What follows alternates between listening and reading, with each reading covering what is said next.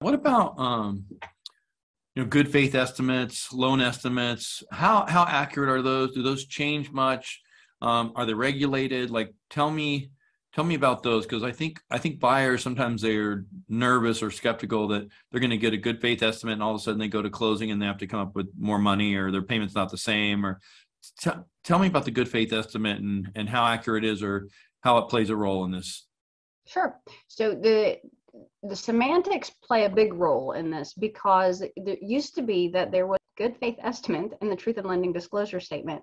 And then things changed a little bit in 2015 and some of the the titles changed. And now there is what's called a loan estimate that combines those two. The loan estimate is highly regulated.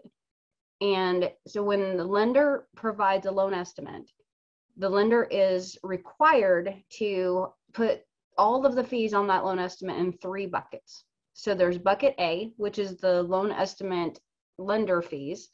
Okay. And those are the fees that I charge as a lender that I control, and there is zero tolerance. Those have to be correct on the first run. Okay.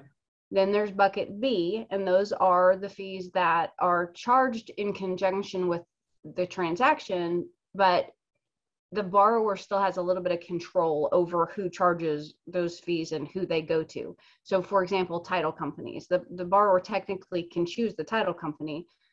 So, we need to have an idea of what those fees are and we need to be really close. So, we have a 10% tolerance on those. We can be, it can change by 10%, and the borrower would have to pay that difference.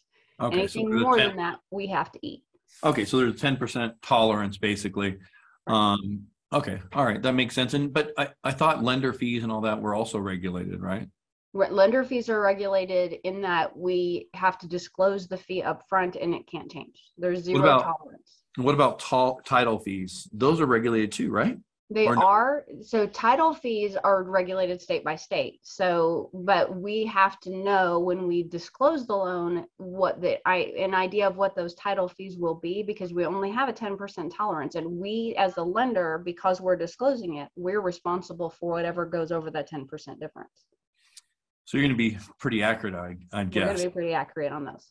And there you yeah. go. And then there's bucket C, and bucket C are the things that the buyer really does control themselves. So that'd be like if they wanted to do a pest inspection. We have no control over who they choose. They just send us the invoice and we make sure it gets paid at closing. So we there's no built-in tolerance on that. It's just whatever that invoice comes in at, that's what the buyer is going to charge. Going to be And charged. that's that's the buyer decides on those anyway, right? Right, exactly.